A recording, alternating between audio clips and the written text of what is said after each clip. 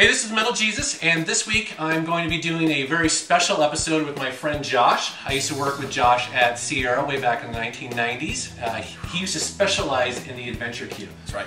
I gotta put you on the spot. What's your favorite Sierra classic adventure game? Classic adventure game. Um, let's see. I know what you're gonna say. Do you? Yeah, it's not gonna be Leisure Suit Larry. No, it's not Leisure Suit Larry. That's that's for sure. Probably Gabriel Knight. I knew you were gonna say that. Gabriel Knight! That's right.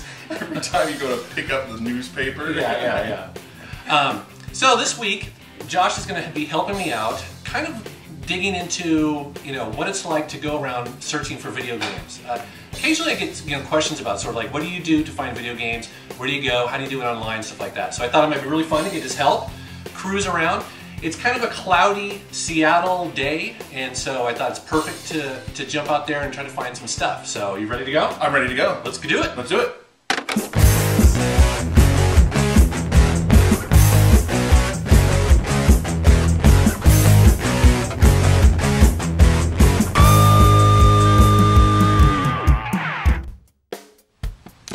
Typically, I do two types of searches when I'm looking for retro games. I do a lot of searches on my computer. Now, sometimes people just assume that I use eBay a lot. And actually, I haven't bought anything on eBay in probably over 10 years.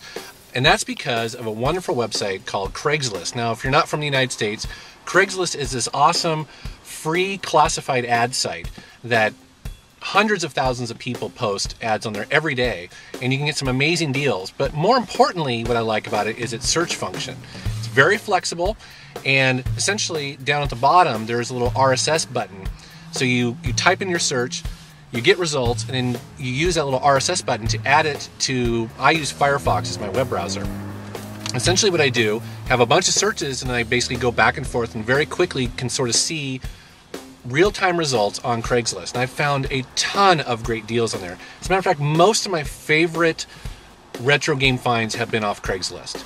Um, that's that's typically the way I, I, do search is, is is off of that. Okay, and then the other type of search I obviously do is cruising around. You know, I live in the Seattle area, and I'm very lucky to have just a ton of options available to me for finding retro video games and that really is uh, it's a mix of dedicated kind of family businesses that do retro gaming only um, there's about five stores in the seattle area that i just absolutely love. You know little hole in the walls that just you never know what you're going to get when you walk in the door. And then also i hit up uh, thrift stores and pawn shops as well. And again the thing i love about it is that you just have no idea what, what you're going to get when you walk in the door. It changes every week. And uh, you know, typically what I do is I, I cruise around, you know, from the north to the south and, you know, kind of around where I live, usually on a monthly basis, just as you know, do my rounds, so to speak. So for today, I'm actually in Josh's neck of the woods, which I've never been in before. And so what I used was Google Maps to find out where the local Goodwills are and also pawn shops. Now, he doesn't really have any sort of dedicated video game stores around here that I know of. Um, there is there are some of the, the franchises, like the bigger ones, like GameStop, but I'm not interested in that really because you kind of know what you get there. It's all the current gen stuff. I'm looking for Atari 2600 games. And actually, that brings me to my next point. What's very important when you are going out is knowing what you want. And so I use an iPod to keep track of all of the games I'm looking for. Now, the way that I, I use this tool is that when I'm when I'm on a blog or I'm on a website and they mention that that there's this great like Atari 5200 game, I will just dump it on this list. I don't even don't even think about it. It's just simply I just want to keep track of it in case I run into it in a store. The other thing I use this for is that often whenever you run in when you go into like a video game store and there's just like you know rows and rows of, of games to look at sometimes it's a little overwhelming and so i need to i need some sort of starting point you know when looking at some of these consoles for instance some of them that i'm not used to like the sega genesis and stuff like that i, I want to sort of have an idea as to the good games so that's what i use this for so step one from this is to get caffeine and food Oh, because you, you need energy you have to have energy, and this is this is the only thing that should be on McDonald's menu right here: the quarter pounder with cheese.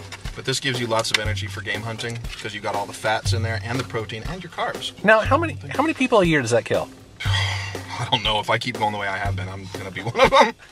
Hey, we're at a Goodwill here in Kent and found some interesting stuff. I don't think I'm going to buy it, but I just kind of want to show you guys here. This was uh, this was a cool find. Sega Game Gear. 25 bucks. I don't know if I want it that badly, but it does have some games in there. That's very tempting. And uh, a couple PlayStation games here. That's a fun game. Old Atari, which I already have. And look at this, Dreamcast. 30 bucks. All right, mission accomplished. I actually found some stuff. Didn't pay too much. I just picked up random games here. I have no idea if they're even any good. But Road Blasters, the classic for the Genesis, paid three bucks. Ecco the Dolphin.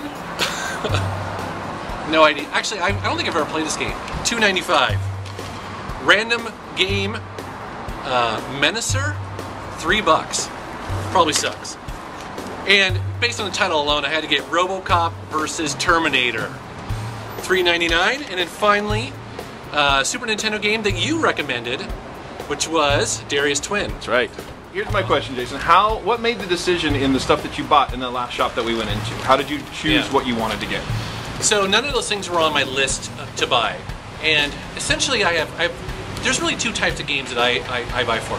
There's games that are that I'm collecting and that they're they're collectors, you know, they're collector prices. Right. You know, to me that's like 30 bucks or more. Okay. Especially for a retro game. And then there's games that are just like anything under five bucks. Yeah. And, and a lot of games that you'll see are sort of like five bucks and under. That's free game for me. Yeah, I mean, it, basically, I'm willing to sort of take a risk at that sort of price level. Yeah. Um, Especially like a game like Ecco the Dolphin, which you've heard from people should Exactly. be owned. If it was less than five bucks, there's no reason not to pick it up. Yeah, and that's, that's and that's kind of what I'm doing today. Yeah. Now, now, if there's you know, but I am looking specifically for games that are like awesome. Yeah. Um, so that, that's that's the logic that I go through with all this. Cool. Stuff. Right so on. you know, I, I usually set a budget when I Yep. go out, and uh, you know, because I know my wife watches these, and I haven't hit that. uh, You know, I, I I'm still under it. So. Very good. But we'll go in here and see if there's anything that uh, you know might strike my fancy. Awesome. Let's rock it. Right. So Good. we, we found some gems here from our past. We used to have to support these games. Yeah. It was bad. it was. Bad. How much are these? These are. Uh, I don't know what what's that. 99 cents and oh this one's a dollar 99 Ooh. frankly they couldn't pay me to take these I think you're gonna break the budget if you pick those up. So. All right. Browser's books here in Kent. What'd you find? not exactly a game but based on one Baldur's Gate 2 uh, one of my all-time favorite games and the novelization so Very good game. kind of cool find for two dollars Be interesting to see how they uh, write up Minsc and Boo. go for the eyes boo go for the eyes all right well that's my afternoon with josh Yeah. cruising around covington washington trying to buy uh, some some used games and we got a nice little stack here Found some decent stuff. Yeah. Yeah. But more importantly, also you uh you're contributing to the uh, Metal Jesus. I, you know, it's, it's my it's my secondary calling in life. what, so. what what do we got here? So I have Final Fantasy two to complement the Final Fantasy one. I think I think I'm complete with Final Fantasies at this point. and uh, Pilotwings, which uh, I love that game, but it's I think it's hard. Your viewers will probably think that I'm No, a lot of those older games are really hard. Yeah. I know it's it's, it's kind of crazy. yes. So, uh, those are for the for the collection. All right. Absolutely. Well, it's been really fun hanging out today. man. Yeah, I had a great been- time. That was really cool. It's been awesome. Yeah. All right. All right, Well, I want to thank you for watching my channel and thanks for subscribing.